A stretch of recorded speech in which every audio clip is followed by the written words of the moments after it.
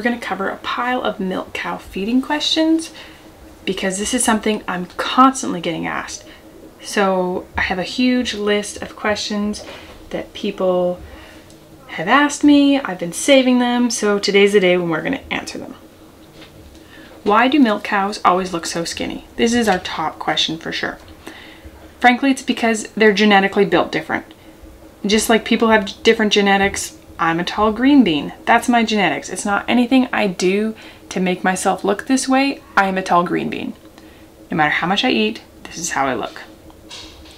So, milk cows genetically look skinny, which is why later we're going to go over what body condition score is and how to kind of really easily body condition score a cow. I'm not super technical about it, but I'll give you some tips for, you know, things that should trigger you to more technically body condition score your cow for if they're too skinny or too fat. So how much grain should you feed? There is obviously different things some people don't want to feed grain, and that's okay. You don't have to feed your cow grain. Personally, we feed our cows some grain because they were not raised from calves on a grain-free diet, so it's really hard to transition cows to a grain-free diet if they have always had grain. Their rumen is built for it, it's conditioned for it. We have really long cold winters, so if feeding them a bit of grain every day helps them out, that's what we do. So if you're not on the side of a cow needing to be grain free, how much grain should you feed? The biggest thing to know is that you should never drastically change how much grain you're feeding a cow because you're gonna mess with their rumen and you're gonna make them bloat. We will also go over what does bloat look like. So a rough guideline is in pounds of milk and pounds of grain. So a gallon of milk weighs eight to 10 pounds and let's say eight pounds. One gallon of grain, sorry, one pound of grain to three pounds of milk. So if my cow is giving me, um, let's say Jessa right now is giving 2.5 gallons a day, so times eight, that's 20 pounds. Divided by three is six to seven pounds it's a rough guideline on how much grain she should be getting she should be getting and she's actually getting seven and a half pounds so that's pretty perfect. Um, she was giving more like three three and a half gallons of milk and getting 10 pounds of grain but we've dropped their grain and dropped them to once a day milking. What about protein percentages? How much protein should I be feeding? This one's also a tricky one and I'm not a feed analyst or nutritionist and where you live you're going to have different available feeds. There's going to be different things that you're going to want to use. It's hard to say. Right now we're we have been more fancy with our cow feed before but right now we're actually we just buy it bulk from a local dairy farm. It's a barley based feed mixed with a protein premix that's got all the minerals and proteins and everything and this is um, this is just kind of a really easy way and we know their cows in our climate thrive on this so that's what we're feeding for now. Does milk taste different depending on what you feed the cow? Yes, for sure. Um, like if you feed them too many sunflower seeds, which is like a good fat you can feed them, you can end up with strong tasting milk. Um, fresh grass will taste stronger than hay milk. Um, there's lots of different factors there. What about feeding before calving and right away?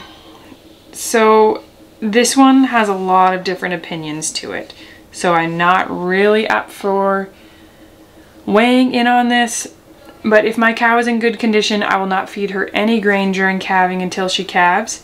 Once she calves, then we will feed her, we'll start feeding her grain and everything because she's putting out a lot of energy and she needs to have it, you know, replenished. I did have a cow that was a little skinny when she was dry, so I fed her just a couple pounds of grain a day. So here's, so this is, you know, there's a, this was like a question box that people ask questions in. So I'm 90 days in, the cow's 90 days in, supply struggles, and I'm calf sharing. probably you're not actually having supply struggles. Probably it's that you're calf sharing and she's holding back milk and cream. So yeah, I wouldn't, I wouldn't, yeah, that's just, that's the calf sharing. That's not supply struggles. How much hay does a cow eat in winter? So here in our winter, a cow eats roughly, a milk cow eats roughly her weight in hay a month. So my cows are about 900 to 1,000 pounds. So they eat 900 to 1,000 pounds of hay a month from October to May. So October, November, December, January, February, March, April, May for eight months. They're, so they're gonna eat, I'm gonna account for 8,000 pounds of hay per milk cow for the winter. We don't have to buy it all up front because we um, friends store it for us. And that definitely helps not have to deal with so much hay storage. What about feeding a cow during or after milking? So I don't think you should feed a milk cow grain while you're milking her because she's going to be more fidgety and if she finishes her grain before you stop milking, quite often she's going to be reaching to try and get the last bits of grain and she's moving around. We find our cows are a lot more patient and easy to milk cows if they get fed afterwards. And this can be difficult if you are used to feeding during because you're going to have to train them. It's going to take you a few days to a week of some more frustrating milkings.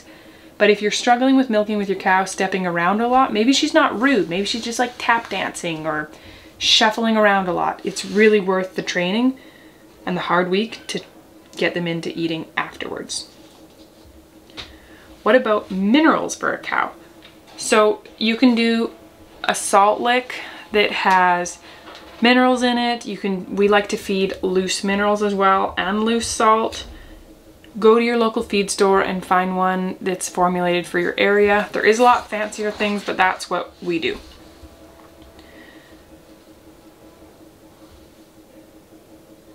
Um, is spring grass sufficient for weight gain or heavy supplementing? That one doesn't quite make sense. Um, definitely once you get into good grass, cows will naturally put on weight a lot better, so you can often ease off of grain. But it's really a by the cow basis. Can you milk a cow in the evening and how long does it take to milk? You can milk a cow whatever time of day you want. I have a friend who milks at like 11 in the morning and 11 at night because that's what works best for their schedule. And she's a night owl. Personally, I like something like 7 a.m. and 7 p.m. Um, now that we're once a day milking, we're doing um, 4.30 in the afternoon because it kind of works well in our day. That's where we figured out was the best time of day to milk once a day at this point in our lives at this time of year.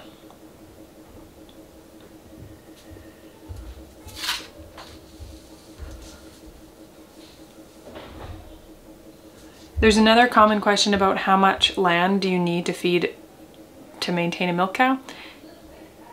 Honestly, you don't need a lot of land, but you need to be then willing to buy a lot of hay. So before you buy a milk cow, maybe see what hay prices are like where you live. They can fluctuate, but there's some places that it's just a lot harder to even get hay. So that's just something to really keep in mind. If you're wanting to know if a cow is bloated, you check their rumen. So behind their ribs, it makes almost like a triangle. So we've got a line behind their ribs, a line, their short ribs, and then this kind of from their hips down. We call this the rumen triangle. And if you look, it's not sticking out at all.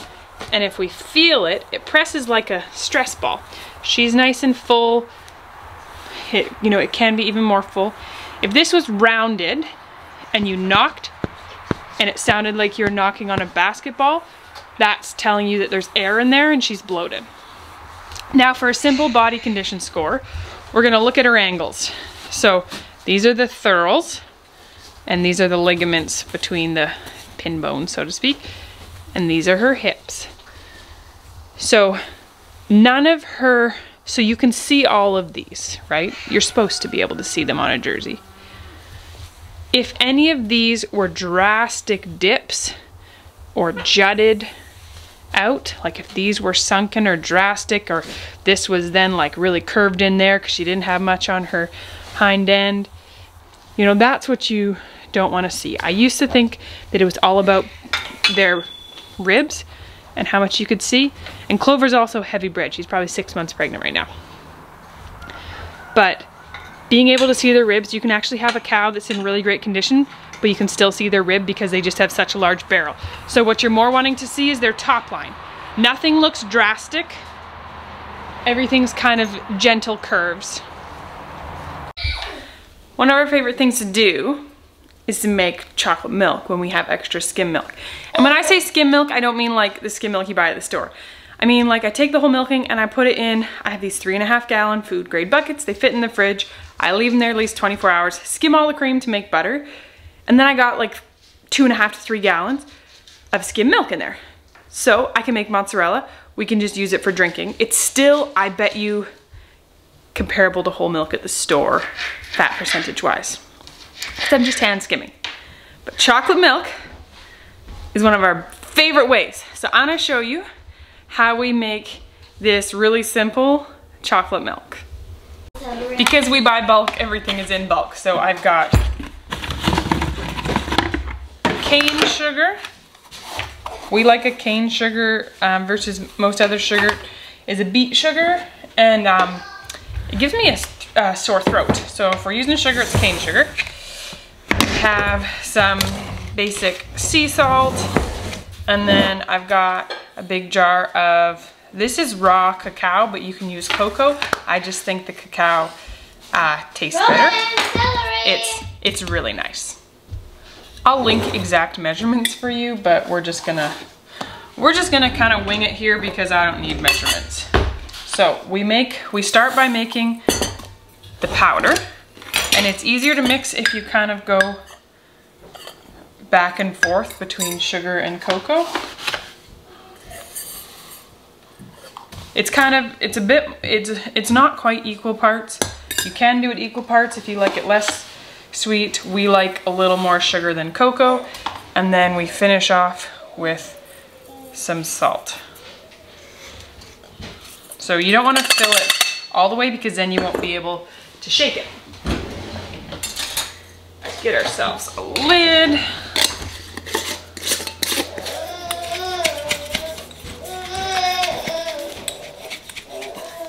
Now we just made ourselves a whole quart of dairy-free chocolate milk or hot chocolate powder for super cheap and super fast.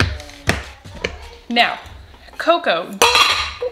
Cocoa does not just mix into cold liquids, as you probably know. If you're going to make hot chocolate, you can just mix it into warm milk, and it's great. Oh, hey baby, what's up? Hi baby, what's up? We've got a baby. Hey baby. So to make it with um, cold milk, we use the immersion blender. Yes, you can use the Nescafe or whatever and it will just like blend, mix right in. Can you hold Amos for a minute? Yes. But um, I that that's really sketchy to me, the fact that the Nescafe stuff just mixes right in. Like I, it's not, it's, Real food doesn't do that. So what are they doing to make it do that?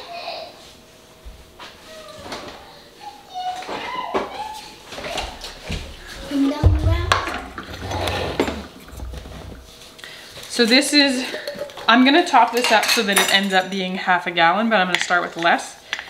So I'm gonna do about a third of a cup of the hot cho of the chocolate chocolate milk powder.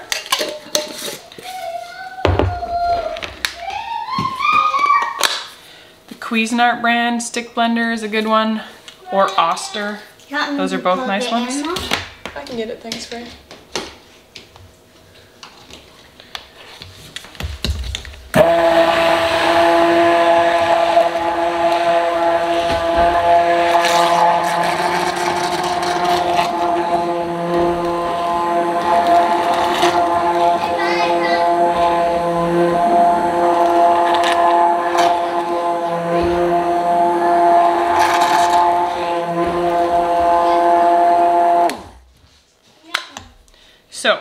The nice thing is that this is super easy to wash. You can just give it a quick rinse or um,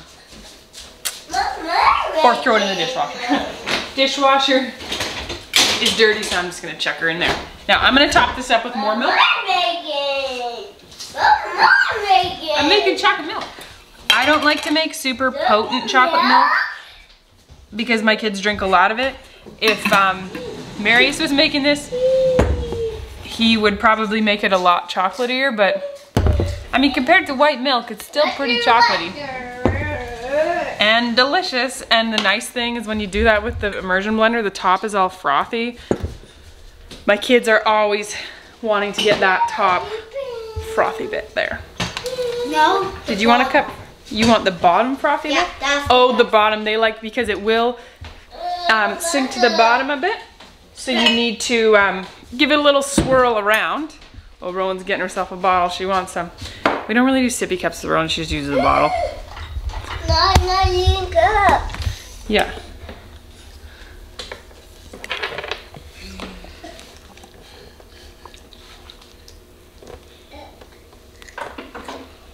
Mommy. Does that look pretty delicious, Frey? I like it.